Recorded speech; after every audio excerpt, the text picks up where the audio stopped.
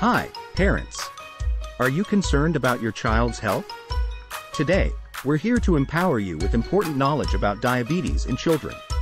Did you know that early detection is crucial in managing diabetes in children? Keep an eye out for symptoms like increased thirst, frequent urination, fatigue, and unexplained weight loss. If you notice any of these signs, don't hesitate to consult your pediatrician. Diabetes treatment involves a combination of medication, a balanced diet, and regular exercise. Your child's healthcare team will guide you through insulin injections or other methods, ensuring they grow up strong and healthy.